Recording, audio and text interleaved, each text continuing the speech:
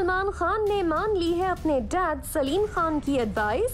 क्या फ़िल्म राधे को लेकर मिले क्रिटिसिज्म के बाद सलमान खान अपनी फ़िल्म चॉइसेस को लेकर सोचने पर हो गए हैं मजबूर? क्या Salman Khan commercial entertainer films के साथ साथ मीनिंगफुल स्क्रिप्ट्स की कर रहे हैं तलाश? वेल हाल ही में सलमान खान की फ़िल्म राधे को मिले बैकलैश के बाद, सलमान खान के डैड सलीम खान ने कहा था कि Radhe was not a great film और अब रिपोर्ट्स आ रही हैं कि सलमान खान ने रियल लाइफ बेस्ड फ़िल्म के एक्सपर्ट माने जाने वाले डायरेक्टर राजकुमार गुप्ता के साथ एक रियल लाइफ बेस्ड फ़िल्म पर काम करने का लिया है डिसीज़न कहा जा रहा है कि सलमान खान राजकुमार गुप्ता के साथ पिछले कुछ महीनों से टच में है और अब फाइनली उन्हें एक फ़िल्म की स्क्रिप्ट पसंद आई है। और अगर सब कुछ ठीक रहा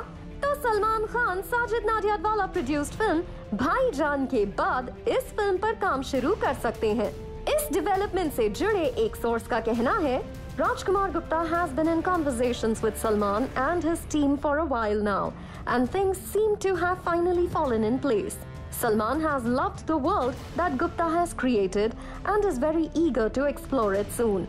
the two are in advance talks for this project in fact if everything goes as planned, the director will jump into the pre-production stage within the next two months.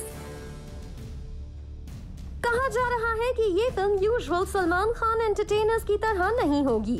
बल्कि एक्शन फिल्म के narrative का part होगा sources का कहना है It's his pet project, essentially a thriller with bits of action in the narrative that stems from the screenplay. The story, centered around the protagonist, demands the presence of a superstar with a certain amount of aura. And there's no one better than Salman to pull off this flamboyant character. It marries content with action, drama, and most importantly, thrills.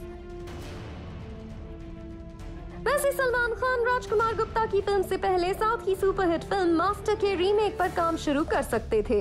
लेकिन इस film के Hindi adaptation की script का सलमान खान अभी भी wait कर रहे हैं। लेकिन ये ज़रूर कहा जा रहा है कि सलमान खान इस फ़िल्म में इंटरेस्टेड है।